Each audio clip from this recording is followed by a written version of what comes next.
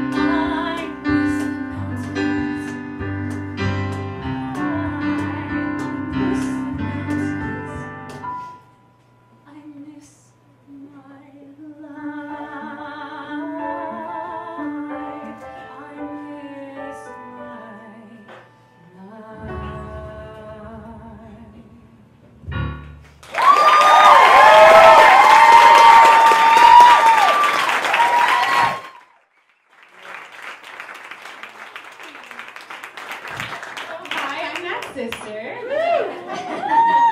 um, Matt told me just to go off the cuff and ad lib, but I don't do that.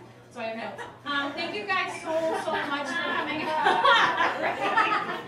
thank you guys so much for coming out tonight. I feel like 2019 ended and we all went, and then 2020 started.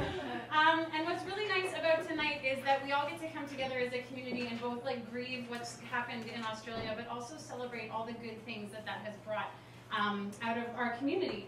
Um, so I'm a teacher. Um, I actually,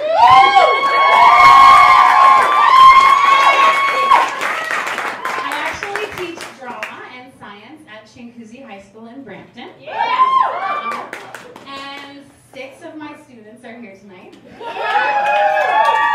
Which is ridiculously cute because none of them drive. And I, I gotta say right now, it's a super tough time to be a teacher.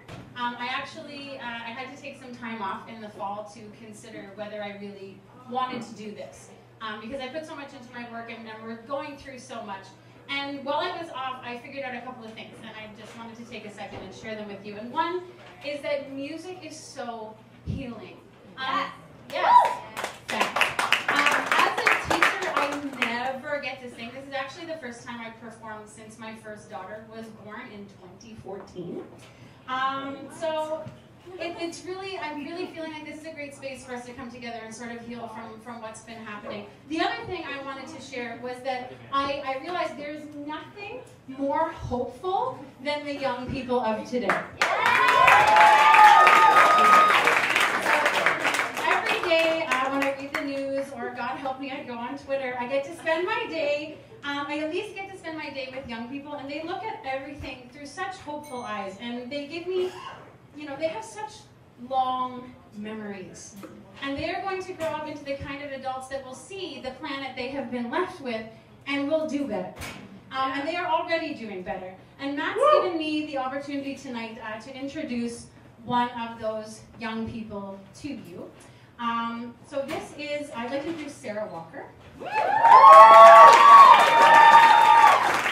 So Sarah is a former student of mine, and she is actually a teacher candidate at the University of Nipissing, and she's down here, that's correct, right? Yeah. Whew. And she's down here on her reading week.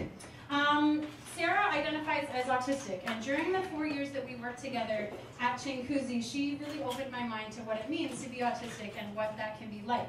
Um, in 2018, Sarah wrote a monologue about uh, her experiences with autism. It was so brilliant that it inspired me and my other student, Kieran, who's the kid jingling the money box. Good job, Kieran. Um, to write a show with a whole gang of neurotypical and neurodivergent teens called the Neurodiversity Project. And we entered it in what is now the National Theatre School Drama Festival, but it used to be Sears. Do you guys remember Sears? Thanks to Sarah, I teach drama completely differently than I used to, and she's really opened my eyes to what the possibilities of theater can be when you work with students who are not your typical like Randolph types. Uh, I love you guys. I'm moving on. So, uh, ladies and gentlemen, Sarah Walker.